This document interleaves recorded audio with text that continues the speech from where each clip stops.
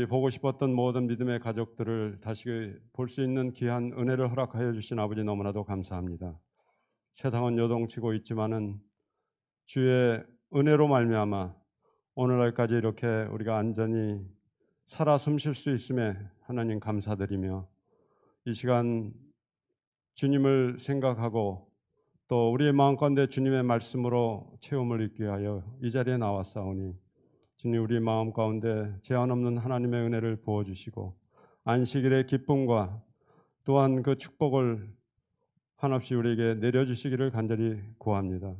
이 자리에 오고 싶지만은 나오시지 못한 모든 믿음의 가족들 기억하여 주시고 있는 곳에서 주를 향하여 또 그들의 마음을 주님께 드릴 때 그들의 마음을 받아주시고 안식일의 기쁨으로 채워 주시옵소서.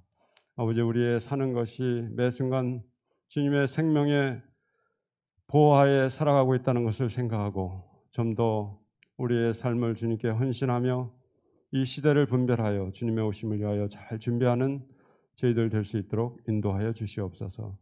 아버지 또 이 시간 우리가 주님의 말씀을 이 시간 듣겠습니다. 주의 종에게 하나님 함께하여 주셔서 말씀의 능력을 허락하여 주시고 우리 심령을 참으로 깨우며 우리를 다시금 잠에서 깨어나게 하는 그러한 말씀이 될 수 있도록 인도하여 주시며 이 험한 세상을 살아가는 데 큰 힘과 용기를 얻는 이 시간 될 수 있도록 인도하여 주시옵소서. 주여 시종을 주장하여 주시고 우리와 함께하여 주시고 우리의 예배를 받아 주시옵기를 간절히 바라오며 예수 그리스도의 이름으로 간절히 기도드렸습니다. 하나님의 뜻을 따라 그리스도 예수의 사도로 부르심을 받은 바울과 형제 소소데네는 고린도에 있는 하나님의 교회 곧 그리스도 예수 안에서 거룩하여지고 성도가 부르심을 받은 자들과 또 각처에서 우리의 주곧 그들과 우리의 주 되신 예수 그리스도의 이름을 부르는 모든 자들에게 하나님 우리 아버지와 주 예수 그리스도로부터 은혜와 평강이 있기를 원하노라. 그리스도 예수 안에서 너희에게 주신 하나님의 은혜로 말미암아 내가 너희를 위하여 항상 하나님께 감사하노니.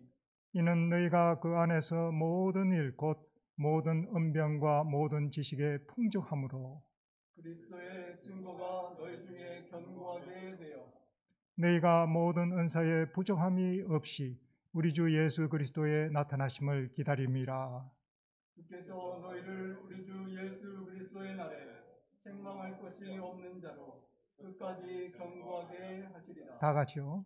너희를 불러 그의 아들 예수 그리스도 우리 주와 더불어 교제하게 하시는 하나님은 미쁘시도다. 아멘.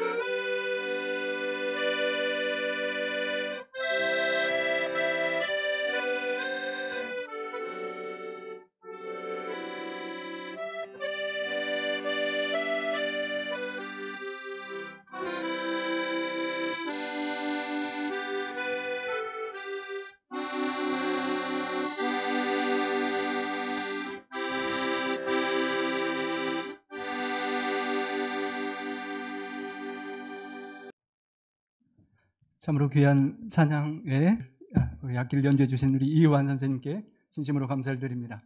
여러분 어, 마음껏 찬양하지 못하는 때 이렇게 악기로라도 찬양할 수 있는 것에 대해 하나님께 참 감사하게 됩니다. 여러분 어, 저 평생에 어, 여러분만큼 오래 그렇게 또 신앙생활을 하지는 못했지만 어, 교회에서 이렇게 찬양을 마음껏 찬양하지 못한 것은 정말 처음인 것 같습니다. 노래를 어, 잘 못해서 그냥 적당히 부른 적은 있지만 이렇게 마음껏 부르지 못하는 이 상황이 참으로 특별한 아, 상황인 것 같습니다. 성도 여러분 진심으로 반갑고 어, 감사하고 환영합니다. 우리 주변에 있는 분들에게 꼭 가까이 가서 허그를 꽉 해드리고 싶겠지만 그렇게는 못하시고 이렇게 한번 여러분 따라 한번 해보시기 바랍니다. 주변 분 보시고 사랑합니다. 허그를 대신합니다. 사랑합니다. 네, 환영하고 사랑하고 감사합니다. 빨리 코로나 바이러스가 다 해결되고 이렇게 진짜 허그해드리는 그날이 올 수 있기를 바라고 여러분 그날 위해서 기도해 주시고 기다려 주시길 바랍니다. 어, 고린도에 있는 하나님의 교회 그 안에서 예수님 안에서 함께 나누는 성도들의 교제에 관하여 우리 함께 은혜를 나누고자 합니다. 폴 트루니에라는 분이 이렇게 말씀하셨습니다. 세상에서는 홀로 할 수 없는 것이 딱 두 가지가 있다. 이분 생각에는요. 하나는 결혼이고 다른 하나는 무엇일까요? 결혼 생활은 부부가 파트너가 있어야 되니까 혼자는 못하는 게 확실한데 이분이 말하시는 것은 다른 하나는 그리스도인이 되는 것이다 라고 했습니다. 왜 혼자서 그리스도인이 될 수가 없을까요? 여러분 코로나 바이러스로 인해서 교회에 자주 오지 못할 상황이 되니까 오고 가는 길 시간도 전략되고 말씀도 많이 보고 또 평범한 교회 목회자가 아니라 세계적으로 또 국가적으로 유명한 우리 목사님들의 말씀을 넘치게 듣는 이런 시간에 많은 은혜를 받고 말씀 안에서 영적으로 신앙적으로 지식이 자라나고 어, 신앙이 계속 좋아져서 정말 좋은 성화되는 그리스도인의 기간을 잘 사셨습니까? 그렇게 살 수 있을 것 같은데 이분은 그리스도인은 혼자서 할 수 없는 것이 그리스도인의 삶이라는 것입니다. 어, 왜 그럴까요? 왜 나 혼자서 전원 시골에 가서 어, 스님처럼 돌을 닦고 성경과 영감의 말씀들을 계속 읽고 묵상하고 또 세상의 음식과 다른 많은 문화의 유혹도 받지 않고 그렇게 영적으로 신앙생활을 잘 할 수 있을 것 같은데 왜 안 된다라고 말했을까요? 이분께서 말씀하시는 것은 지식적으로 배우고 말씀을 듣고 내가 자라나는 것은 어느 정도 할 수 있지만 우리가 배우는 신앙의 길이 이론과 지식으로 머리로만 할 수 있는 것이 아니라 머리로 귀로 듣고 마음으로 깨닫고 느끼고 배운 것들을 삶으로 실천해야 되는 어, 삶의 실천의 길이기 때문이라는 것입니다. 예수님께서 가르쳐 주신 신앙의 길은 하늘에서 그냥 멀리 이 죄악 세상을 바라보시며 어, 오늘날 우리가 할 수 있는 이런 인터넷을 뛰어넘는 하나님의 능력으로 우리 모든 성도들에게 온라인으로 지금 현장에 참여하지 못하고 영상으로 우리 예배에 참여하시고 계시는 성도님들에게 이렇게 영상 참여가 동시에 되는 것처럼 우리 예수님께서 하늘에서 요새 5G 인터넷 속도가 빨라지는 과학 세상인데 그것보다 더 빠른 속도로 우리 모든 사람들에게 하나님의 뜻을 얼마든지 말씀해 주실 수 있으셨을 것입니다. 하지만 주님은 친히 하늘 영광을 떠나셔서 이 땅에 찾아오시고 말구에 태어나시고 인간이 되셔서 우리 곁으로 찾아오신 실천의 신앙이셨고 그 신앙은 우리가 머리와 이론으로만 배우고 살아갈 수 없는 신앙이기 때문인 것입니다. 어떤 사람이 배를 타고 가다가 침몰해서 통나무를 붙잡고 바다에 떠돌다가 무인도에 착륙한 사람이 있었다고 합니다. 2년여가 흐른 후 다행히 한 배가 지나가다가 그 사람을 발견해서 구조할 수 있게 되었다고 합니다. 여러분 8개월 동안 교회 오지 못하다가 이렇게 와서 만나는 것도 반가운데 어, 2년 동안 무인도에서 혼자 있었던 사람이 얼마나 힘들고 만날 때 얼마나 반가웠겠습니까? 구조원 사람이 물었습니다. 다른 사람들은 다 어디 있습니까? 그러니까 아니에요. 저 혼자밖에 없어요. 그랬더니 그럼 저기에 있는 세채 건물들은 다 뭡니까? 왜 당신 혼자입니까? 그랬더니 아 제가 혼자서 하도 심심해서 제가 건축하는 기술이 있기 때문에 집도 짓고 이것저것 지었습니다. 라고 말하는 것입니다. 그러면 집 하나면 되지 뭐 세 개나 지었습니까? 라고 말했더니 아, 저 하나는 제 집이고요. 옆에는 제가 다니는 교회입니다. 그랬더니 어, 그러면 교회도 하나면 되지 저거는 누구 집입니까? 그랬더니 바로 대답하지 않고 사람 아무도 없는데 살짝 와서 귓속말로 이렇게 말하더랍니다. 아, 조금 어, 말하기가 그렇지만 여러분, 여- 당신이 그렇게 궁금하시면요. 저 교회는 제가 예전에 다녔었던 교회입니다. 라고 말했다고 합니다. 어, 그 2년 동안 혼자 살면서 옛날 별의별 생각이 다 있었을 텐데, 과거에 다니던 어떤 교회에서 좀 상처가 있었는지, 그 교회를 떠나고 싶은 생각이 들어서 새로운 교회를 짓고, 이제 저 교회는 더 이상 잘 안 가는 교회라고 말했다는 그런 안타까운 그런 이야기가 전해집니다. 그런 비슷한 분이 한 스펄전 목사님을 찾아와서 어, 어떤 젊은이가 찾아와 이렇게 목사님께 요청했다고 합니다.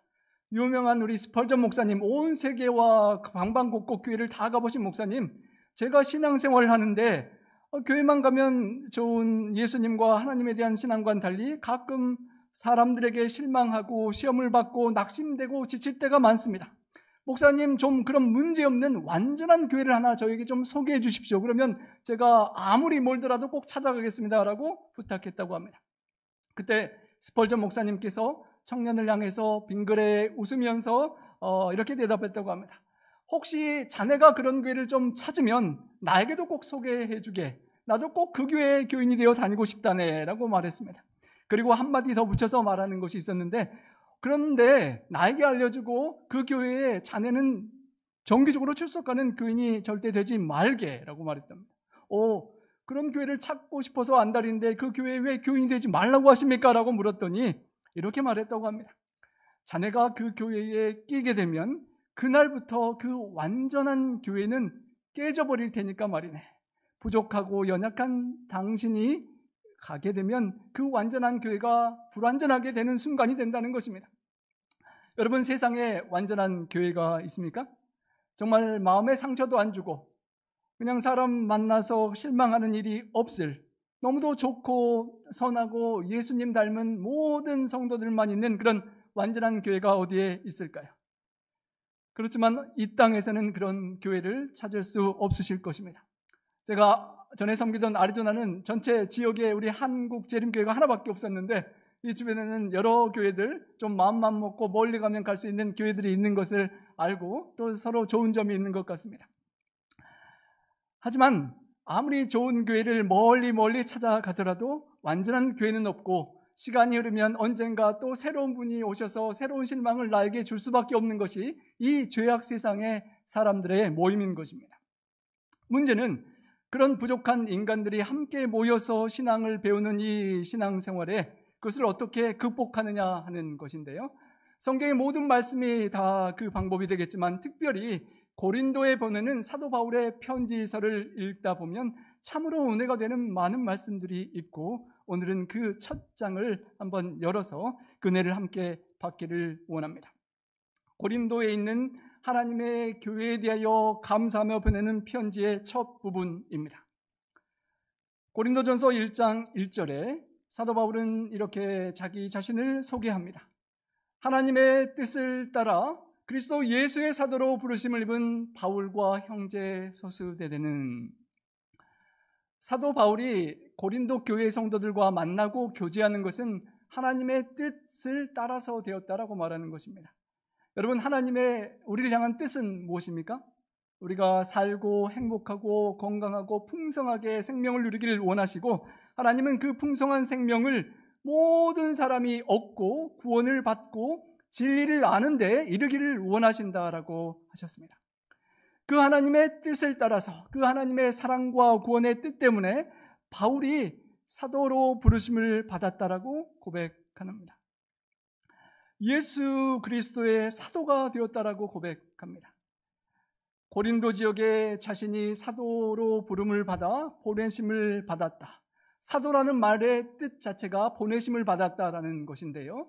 하나님의 그 뜻을 따라서 예수 그리스도의 사도로 예수 그리스도의 보내심을 받아서 고린도 교회의 성도들과 만나게 되었다는 것입니다.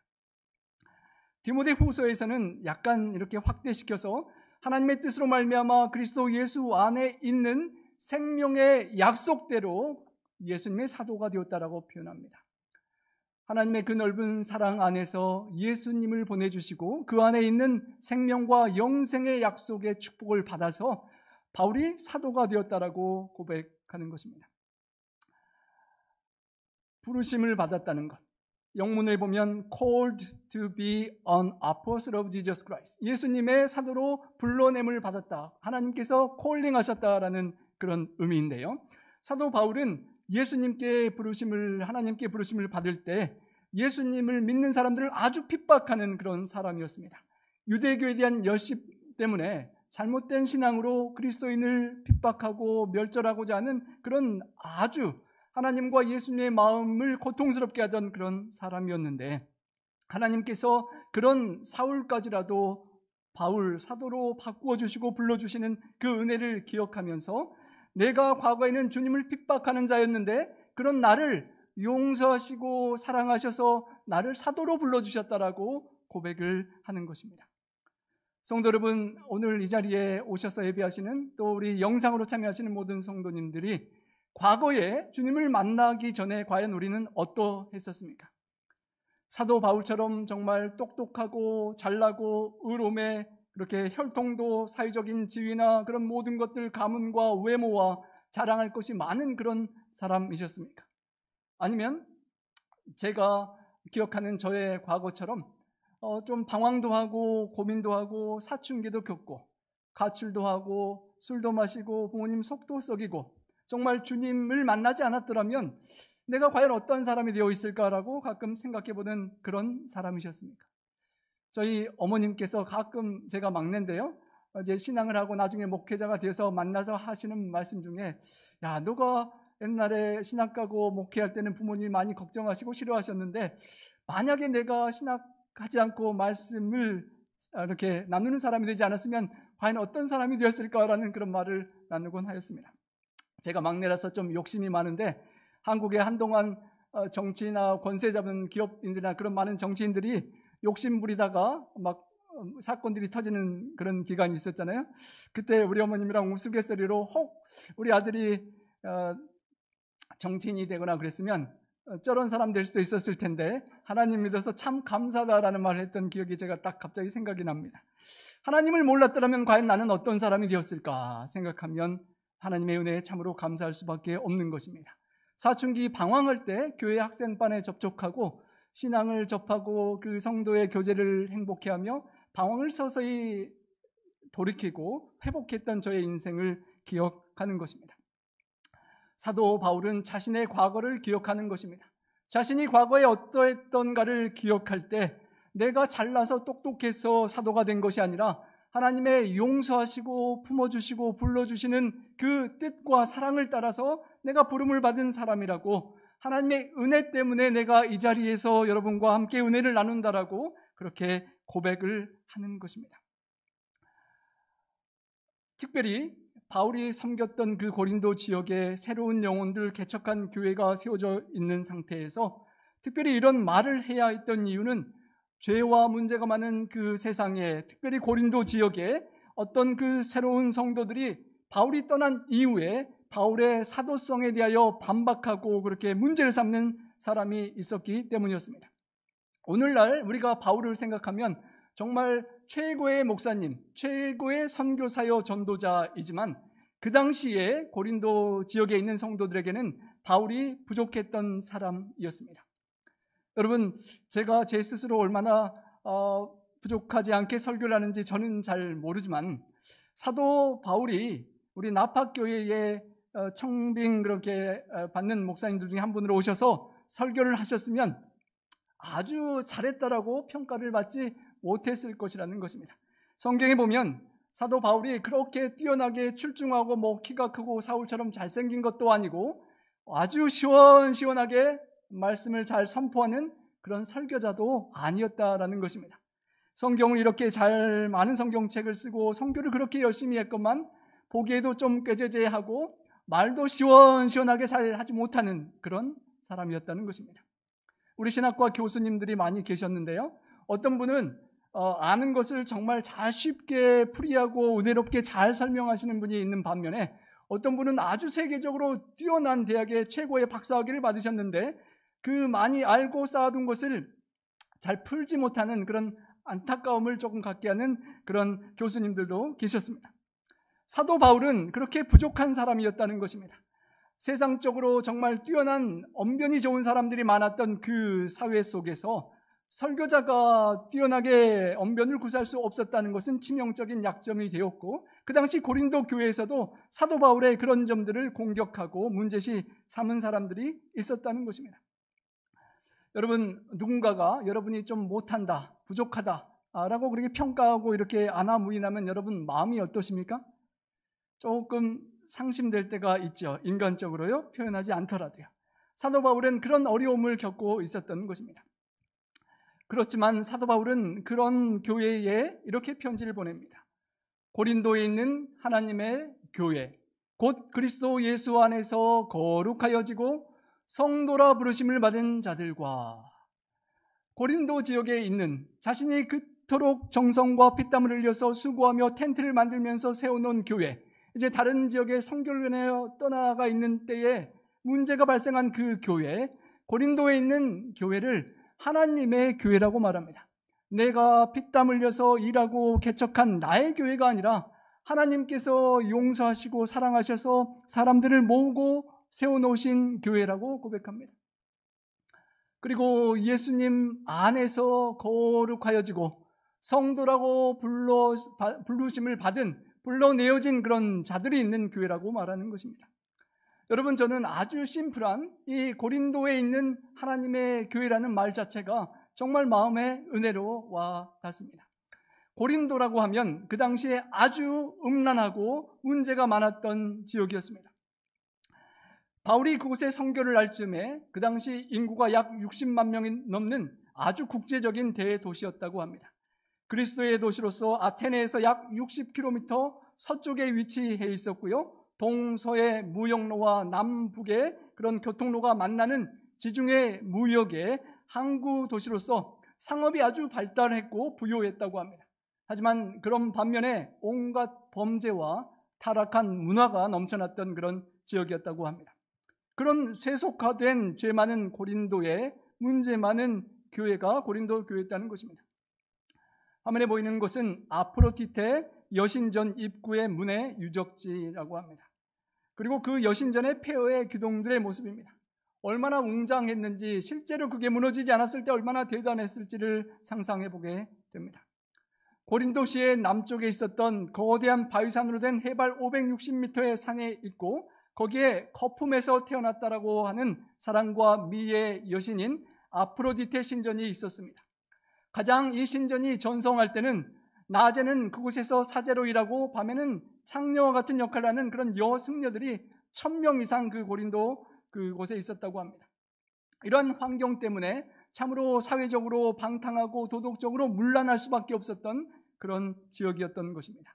그래서 고린도라고 하는 지역에서 동사가 파생되어 코린티아조라는 말이 있는데 그 말 자체가 타락하고 음행을 저지른다라는 말이 될 정도로 고린도라는 그 지역 이름 자체가 도덕적으로 타락하고 죄의 악의 도시라는 그런 상징적인 곳이 된 것인 것입니다.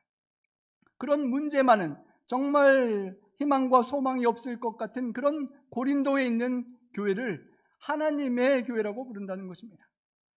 수많은 교회들 중에 정말 성경에 나오는 많은 교회들 중에 가장 문제가 많은 교회 같이 보이는 그 교회도 하나님께서 사랑하시고 하나님께서 돌보시는 교회라는 것입니다. 여러분 고린도와는 비교할 수 없는 정말 미국에서 가장 살기 좋은 이 나파 지역에 있는 우리 교회는 얼마나 하나님께서 아끼시는 소중한 교회이겠습니까? 그런 문제 많은 고린도 교회를 하나님께서 그토록 사랑하신다면 이 아름다운 교회는 정말 하나님께서 아끼시는 하나님의 교회일 것입니다. 하나님께서 성도님들 한 분한 한 분을 불러내어 주시고 택하시고 소유된 백성을 삼아 주시고 이렇게 모이게 하신 이 교회는 하나님께서 정말 눈에 넣어도 아프지 않을 귀한 교회라는 것입니다. 하나님께서 이스라엘 백성을 선택하셔서 귀하게 쓰시고 또 초대 교회를 불러내셔서 세상에 복음을 전파하시면서 교회를 사랑하셨는데 로마서 1장 7절에 보면 로마에서 하나님의 사랑하심을 입고 성도로 부르심을 입었다라는 표현이 있습니다. 성도로 불러주신 것은 하나님께서 우리 한 명 한 명을 그토록 끔찍히 사랑하셨기 때문에 우리가 오늘 이 자리에 있는 것입니다. 여호와는 나의 목자시니 내가 부족함이 없으리로다라는 시편의 기자의 고백처럼 우리 삶에 부족함이 없도록 인도하시고 사랑하시는 선한 목자 주님께서 불러내어 주시고 우리를 교회로 모이게 해 주셨습니다. 정말 나파라는 이 지역의 교회의 이름은 제가 예전에 있던 교회를 섬길 때부터 아 저기에 그런 교회가 있다고 합니다. 그리고 우리 김남주 장로님과 여러 성도님들 통해서 그 교회 참 좋고 사랑하고 평화롭고 은혜 많은 교회라는 말을 많이 들었었는데 제가 이 자리에서 이렇게 여러분과 함께 설교를 하고 성도의 교제를 나누고 교회를 섬기게 되었으니 참으로 어, 꿈만 같은 이야기일 수도 있고 하나님께 참으로 감사하는 그런 현실이 되었습니다. 하지만 고린도에 있는 하나님의 교회라는 말은 하나님께서 사랑하시는 교회와 세상에 여전히 사탄 마귀가 고통스럽게 하는 그런 현실이라는 것을 우리에게 기억나게 하는 것입니다. 사탄 마귀의 압제하에 고통하는 세상이라는 것입니다. 코로나 바이러스로 인하여 수많은 사람들이 병들고 죽어가고 있고 화재로 자연이 불타고 수많은 자연재해들이 사람들을 덮치고 정치적인 분열과 갈등과 경제적인 어려움 등 수많은 어려움과 고통과 죄악이 있는 이 세상이라는 것입니다. 그 죄악 세상 속에 우리 한 분 한 분의 성도님들의 마음속이 슬프고 아프고 상처 입고 괴로운 이 세상 속에 하나님께서 사랑하시고 예수님을 보내셔서 우리를 위로하시고 함께 모여서 힘을 얻고 새롭게 하늘을 향하여 나아갈 수 있도록 세우신 교회가 하나님의 교회요. 우리 나파에 있는 온 세상에 퍼져 있는 하나님의 교회들이라는 것이고 그 교회를 통하여 하나님께서 마침내 승리하게 하실 것이라는 것입니다. 여러분 과거에 수많은 교회들을 다녀보시고 교회에 대한 많은 추억들이 있으실 줄로 생각됩니다. 이 교회가 제가 사춘기 방황을 접고 저희 큰 누님 집으로 이사를 가서 전학을 가고 부모님을 떠나서 3년간 어, 고등학생 시절에 다녔던 동해 송정교회라는 곳입니다. 이 교회의 기도실에서 기도하고 울기도 하고 야간 수업 마치고 와서 밤중에 기도하기도 하고 수많은 추억들이 있는 교회입니다. 여러분 이 교회 또 수많은 거쳐간 교회들 때문에 오늘 제가 있음을 기억할 때 하나님께 참으로 감사합니다. 40, 4, 50여 년 전에 이 네파 지역에 우리 성도님들 한분 한분 어, 모이게 하시고 헌신과 기도와 정성으로 세운 이 교회가 있음을 생각할 때 어, 여러분 지나간 수많은 추억의 경험들을 기억나게 하는 이 성전을 생각하며 하나님께 감사하게 되리라 생각합니다. 어, 지난주에 우리 수장로님과 함께 어, 고 이성준 성도님의 우리 미망인을 만났는데요. 한 달 반이 된 떠나간 남편을 놓고 이야기하는 그분이 얼마나 눈물을 많이 흘리시던지 그 마음이 참 안타깝고 아픔을 느꼈었습니다. 오랜만에 그렇게 다시 오랫동안 시간이 흘러도 잊을 수 없는 그 추억과 아픔의 이별이 없는 그 하늘에 가기까지 우리 삶의 현장에서 하늘을 소망하며 살아갈 수 있도록 불러주시는 위로하시는 하나님의 교회가 있음을 감사하게 되는 것입니다.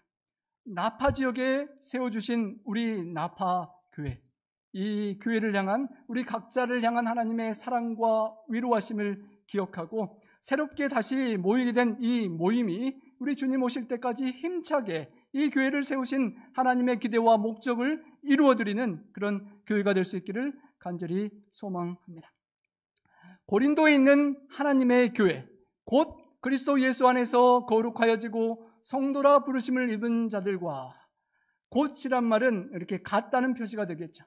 하나님의 교회는 그리스도 예수 안에서 성도라 부르심을 받은 자들과 같다는 말입니다. 교회가 우리가 이렇게 함께 모이는 건물도 교회라고 하지만 웅장하고 아름다운 교회뿐만 아니라 그 교회에 속해 있는 한 분한 분이 모여 있는 신앙의 모임을 교회라고 하는 것입니다. 함께 구성원이 되어서 세상을 떠나 구별되어 구별된 시간에 구별된 장소에서 하나님께 구별된 삶을 드리고 하나님의 특별한 뜻을 받아서 실천하고 살아가고자 하는 성도들이 모인 교회라고 하는 것입니다. 헬라어로 에클레시아라고 하는데요.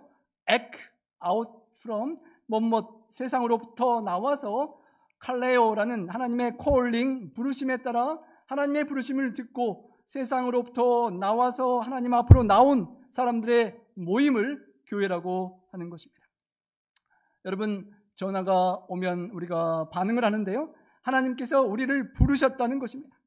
바울이 자기 자신을 하나님의 은혜로 불러주셔서 사도로 불렀다라고 고백하면서 고린도 교회에 있는 성도들도 바울뿐만 아니라 그 모든 성도님들이 하나님으로부터 부르심을 받은 성도라고 말하는 것입니다.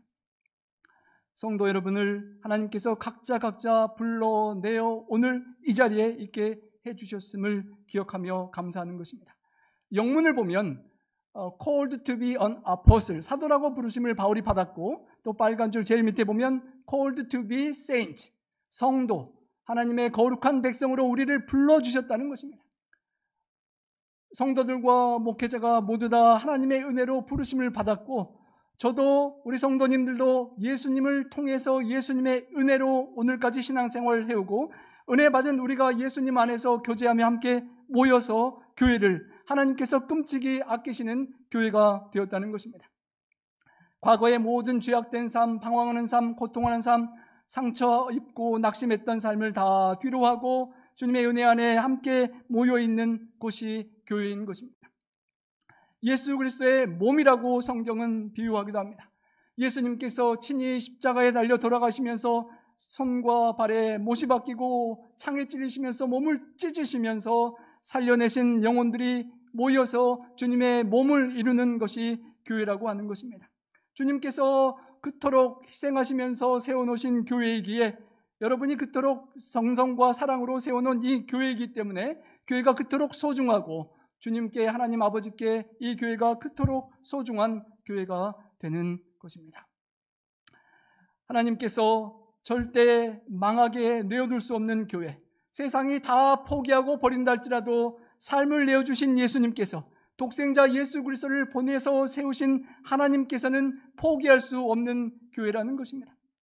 때로는 교회 안에 실망스러운 일이 있을 수도 있고 때로는 목회자나 지도자들과 성도들 사이에 연약한 실망한 모습이 보일 수 있을지는 몰라도 예수님께서 우리 하나님께서 결코 포기하고 놓을 수 없는 사랑하는 귀한 교회임을 우리가 기억해야 할 것입니다.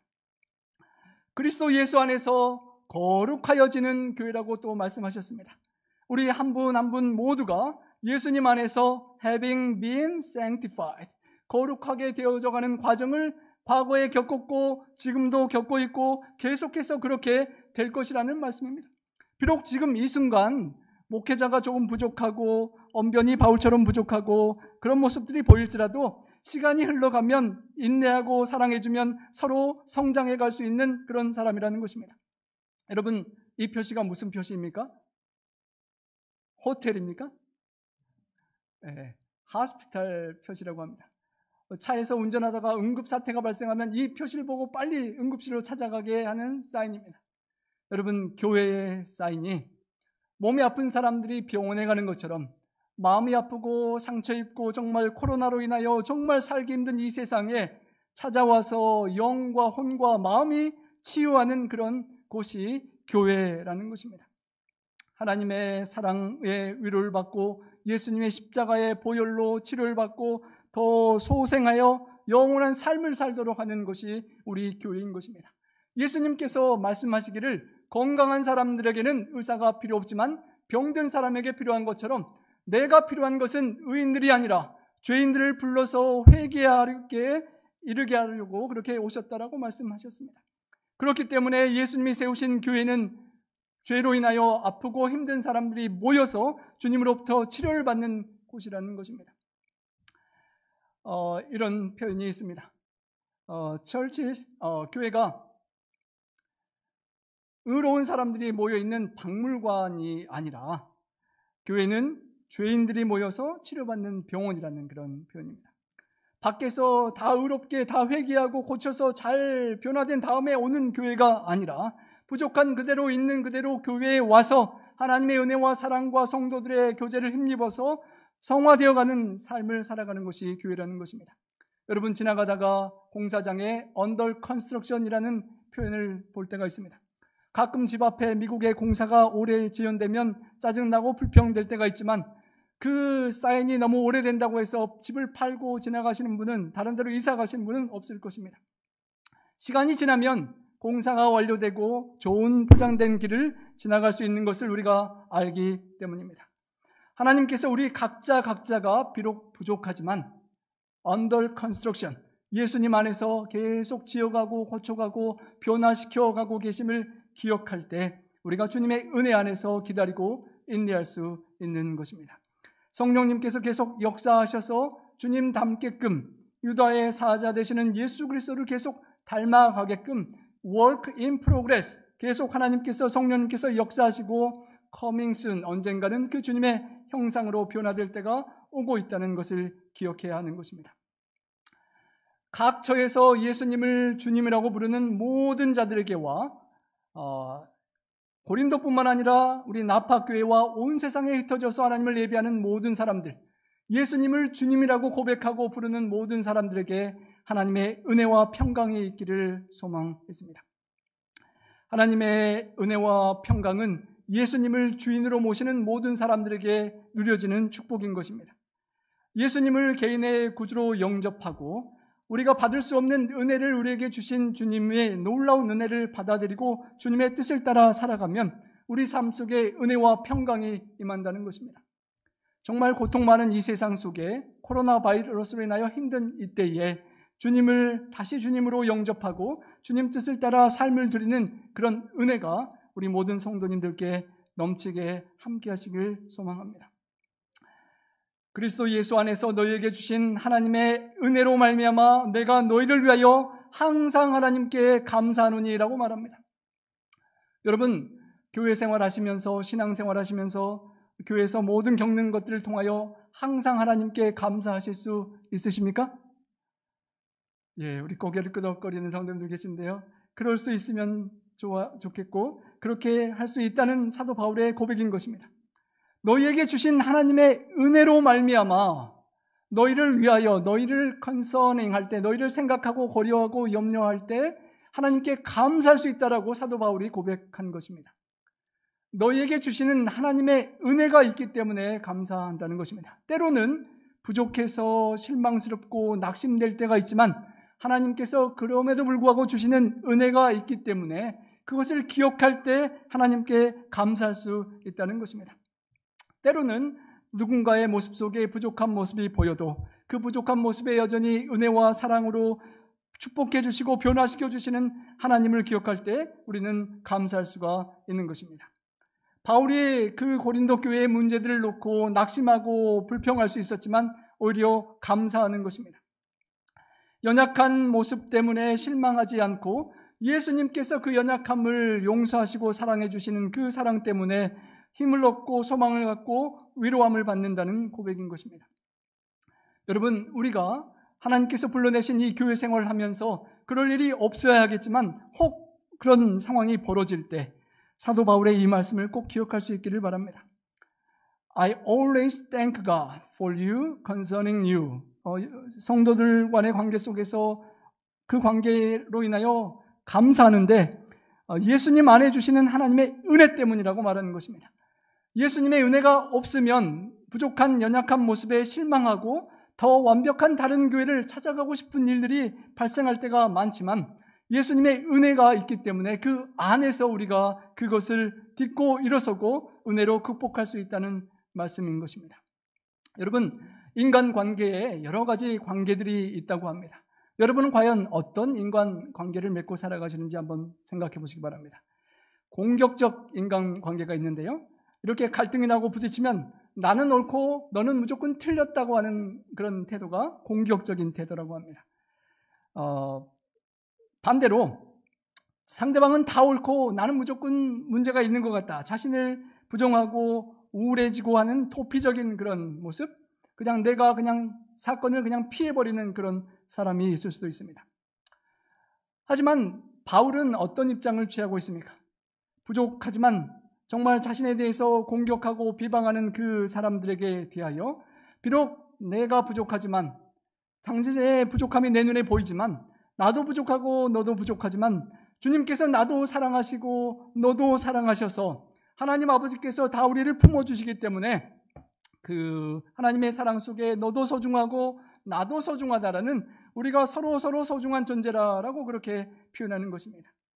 내가 부족한 것을 내가 알고 과거에 그런 과거가 있었음을 알지만 하나님의 은혜로 사도가 되었고 고린도 교회 수많은 환경과 죄악의 문제들을 알고 그 속에서 부름을 받은 성도들의 부족한 점을 알지만 하나님의 은혜 때문에 서로 부족하다고 원망하고 불평하는 것이 아니라 하나님의 은혜 안에 서로를 보고 사랑하며 살 수 있다라고 그렇게 감사를 표현하는 것입니다.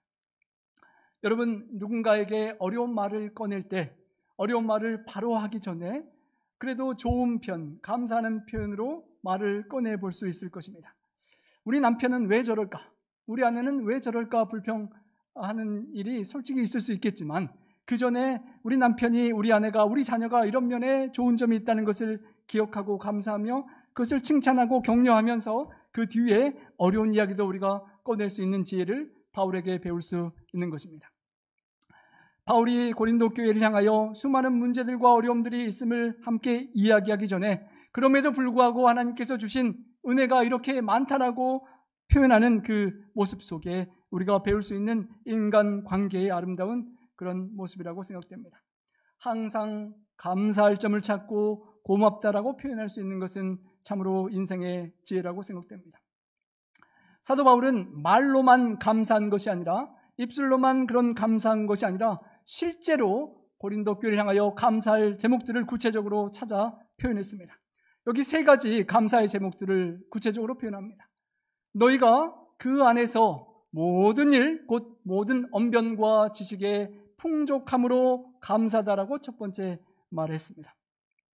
고린도 교회 성도님들을 생각할 때 정말 언변이 바울보다 뛰어나게 말씀을 잘 나누시는 장로님들도 계시고 교과 공부를 잘 가르치는 성도님들, 또 방송실에, 또 찬양에, 악기에 그런 많은 탤런트들이 있는 그런 성도님들이 정말 언변과 지식과 모든 것들에 풍족하게 모든 일에 있어서 탤런트가 많은 성도님들이 계심을 인하여 감사하다라고 표현했습니다.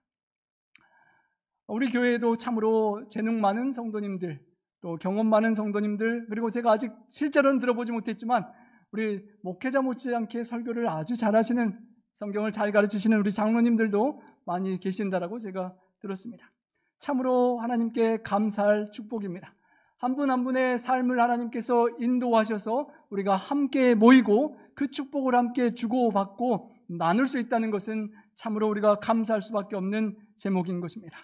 그 안에서 through him, Jesus Christ, 예수님 안에서 우리 모두에게 주신 축복들을 그 축복들을 다 가지고 이렇게 함께 모여서 그것들을 주고 받고 나누고 격려하고 위로하며 함께 우리가 신앙생활을 하기 때문에 감사한다는 것입니다.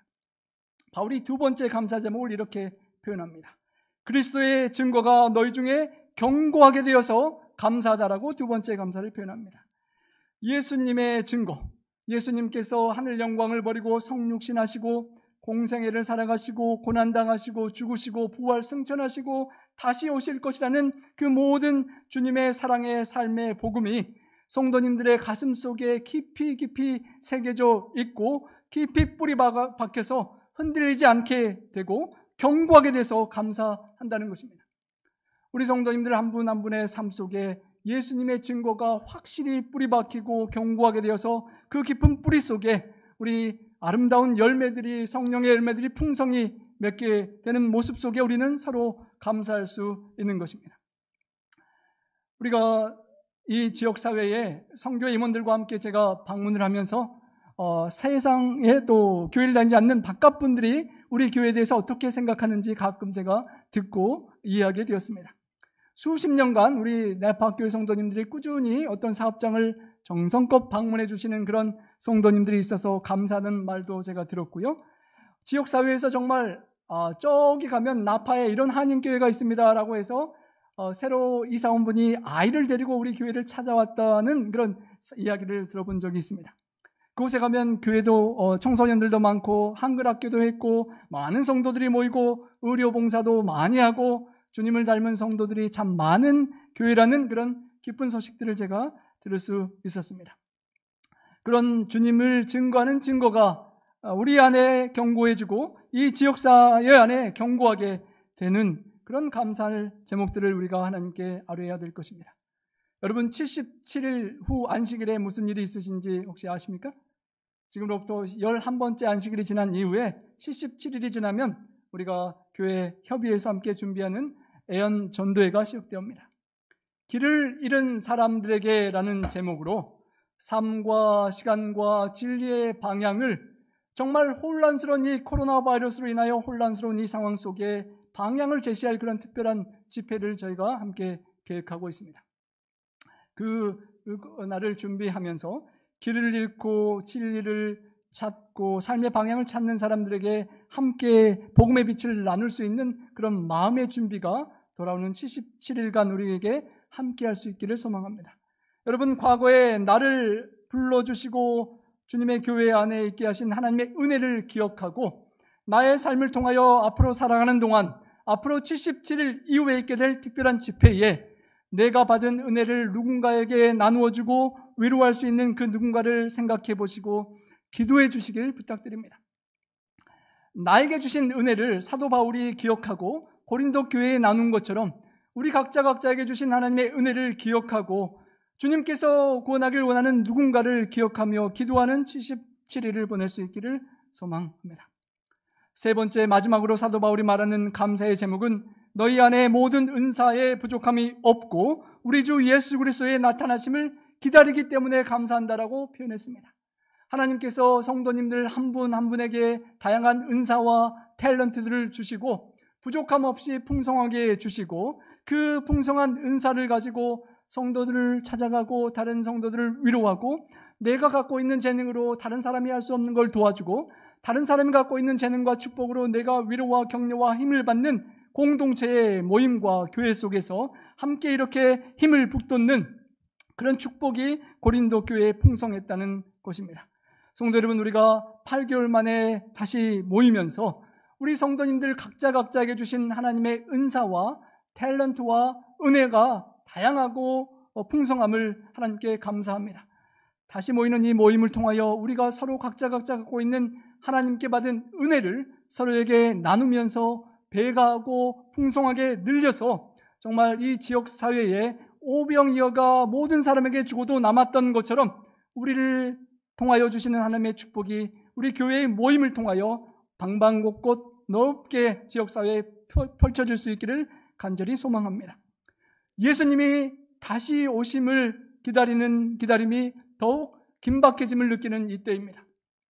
찬양을 마음껏 부를 수도 없고 코로나 바이러스가 수없이 많은 사람을 죽여가는 이 고난의 위기의 때에 주님이 가까이 오심을 더욱 가까이 느끼는 이때에 주님이 오심을 기다리면서 우리가 받은 은사를 탤런트를 최대한 활용하여서 우리 주님 오실 때 정말 잘하였도다 착하고 충성된 종이라는 말씀을 들을 수 있는 우리가 되기를 간절히 소망합니다. 성도 여러분, 사랑하는 주님이 오실 것입니다.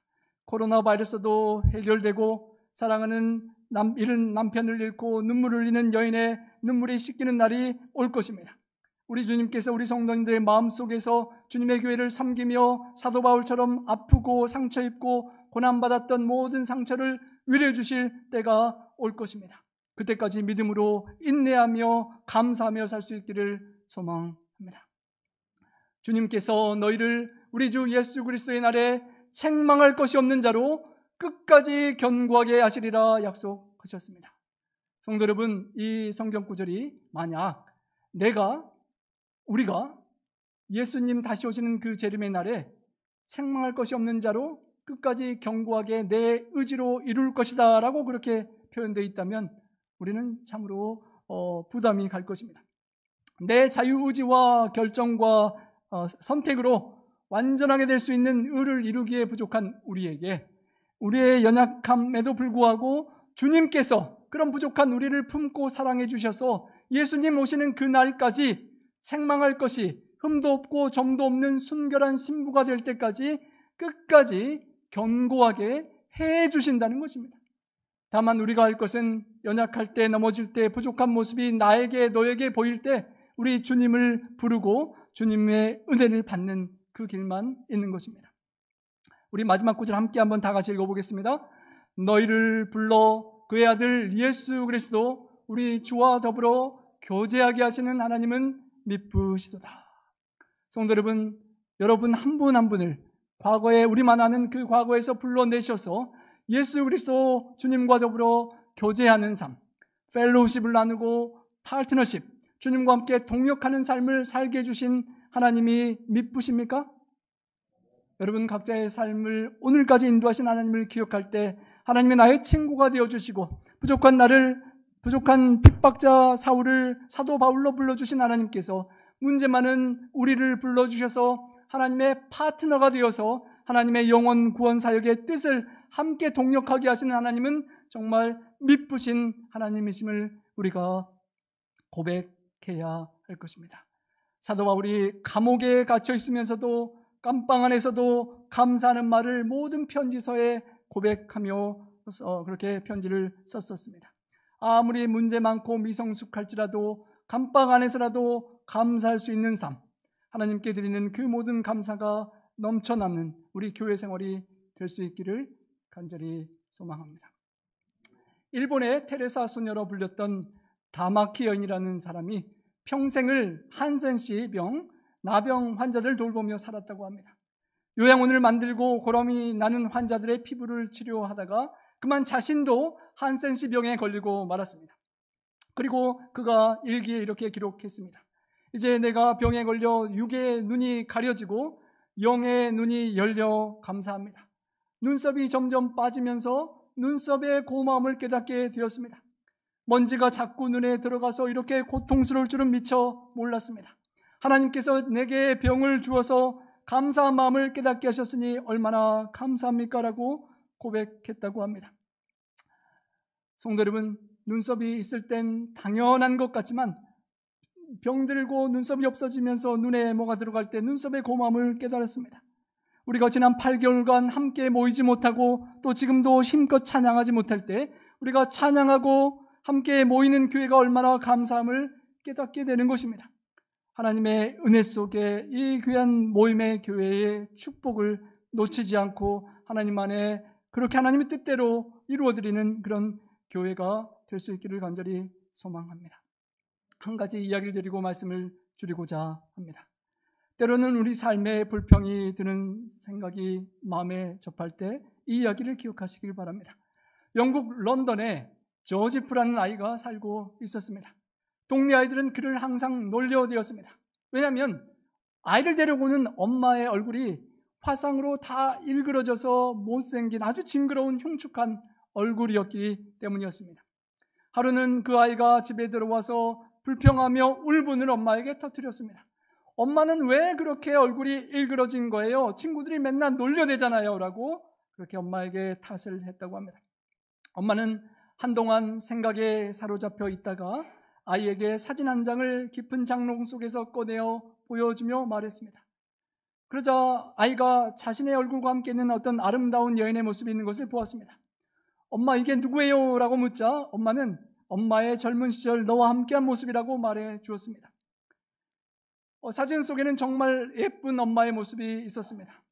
엄마가 이렇게 예뻤는데 지금 왜 이렇게 된 거예요? 라고 그 아들은 물었습니다. 어머니가 조용히 대답했습니다. 내가 돌이 막 지났을 때 너를 집에 뉘어놓고 장보러 마트에 갔었단다. 그런데 장을 보고 집에 돌아오는데 집에 불이 났더구나. 불이 이미 너무도 많이 번졌지만 엄마는 너를 구하기 위해 불 속으로 뛰어들었단다. 엄마가 너를 뜨거운 그 불 속에서 두꺼운 옷으로 감싸고 그 불 속에서 빠져나오는 동안 화상을 입어서 엄마가 이렇게 일그러지게 되었단다. 그렇지만 내가 이렇게 잘 살아서 성장하고 있으니 얼마나 감사하니라고 말했다는 것입니다. 그 아들은 그때에서야 엄마의 얼굴이 자신을 구원하기 위하여 그토록 일그러졌음을 깨닫고 감사의 눈물을 흘릴 수밖에 없었습니다. 다시는 원망과 불평을 하지 않고 엄마가 어떠한 희생과 사랑으로 나를 살리고 그렇게 고통을 당하셨는지를 기억할 때 오히려 그것을 감사하며 자랑하는 아이가 되었다라고 합니다.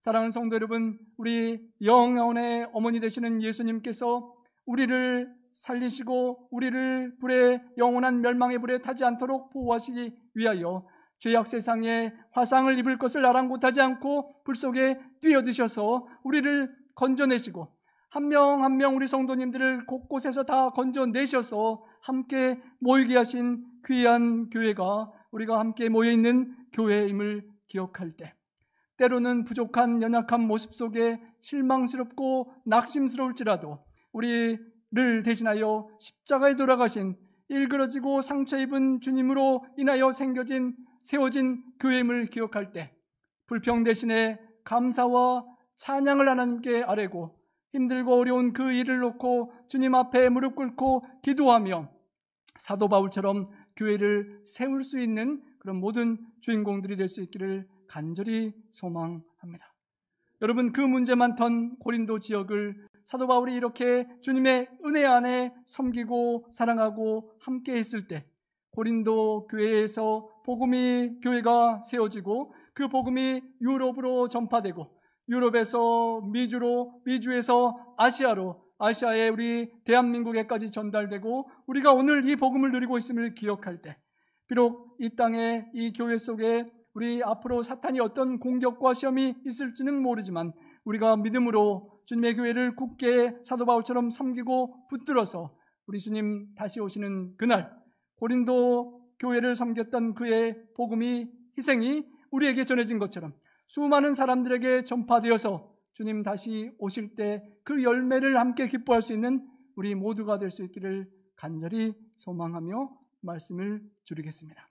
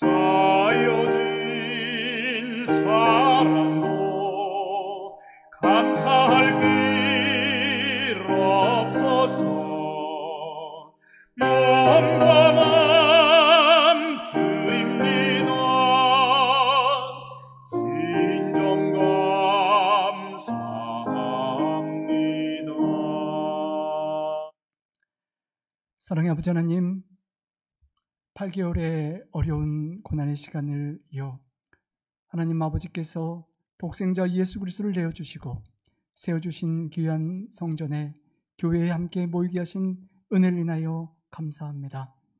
하나님 아버지, 그 누구도 알 수 없지만 저 자신만이 아는 우리 각자만이 아는 우리 과거의 어두운 그늘 속에서 하나님께서 우리 각자 각자를 찾아와 주시고 버리지 않으시고 사랑하시며 나의 아들, 나의 딸, 나의 교회에 나의 성도라고 불러주시는 하나님의 찾아오신 은혜를 인하여 감사합니다. 하나님, 주님의 사랑을 잃고 세상의 유혹에 넘어가고 세상의 쾌락과 세상의 좋은 것들을 쫓아가며 주님의 마음을 아프게 하고 주님께 원망하고 불평하며 살았던 저의 과거를 돌이켜보고 회개합니다. 하나님 불쌍히 여겨 주시고 주님의 은혜를 다시 기억하며 주님 안에서 주님께서 주시는 그 놀라운 엄청난 ama- amazing grace로 인하여 주님 넉넉히 감당하고 승리할 수 있도록 도와 주시옵소서. 하나님 아버지 주님께서 참으로 귀하게 세우신 이 나파 교회가 주님 우리 한 명한 명이 모여서 주님의 지체된 우리가 서로 힘을 합하여 위로하고 격려하며 사랑하고 주님 이 땅에서 주님께서 이루기를 원하시는 사명을 사도 바울처럼 꼭 이루어낼 수 있도록 저희 각자 각자와 함께하여 주시옵소서. 하나님 아버지 코로나 바이러스로 인하여 방문하고 성교하고 함께하기 어려운 이때에 주님 우리 각자에게 함께해 주셔서 그 은혜를 나누는 일에 그 저항과 장벽들을 넉넉히 이겨내고 넘어갈 수 있는 믿음을 강하게 허락하여 주시옵소서. 하나님 아버지 어려운 가운데 삶을 구별하고 헌금을 구별하고 정성거린 생애를 바치기를 원하는 우리 모든 성전에 나오신 성도님들과 또 코로나 바이러스로 인하여 함께 앉지 못하는 아픔 속에 성- 각 가정에서 주님께 예배하는 우리 모든 성도님들께 함께하여 주시고 주님께서 친구요 동행자요 구원자로서 주인으로서 우리의 삶을 주장하시고 축복하시고 승리케 하여 주시옵소서. 주님 그 승리의 삶을 살다가 다시 기쁘게 모일 수 있도록 인도하여 주시옵기만을 우리 구주 예수님 성호자여 간절히 축원하옵나이다. 아멘.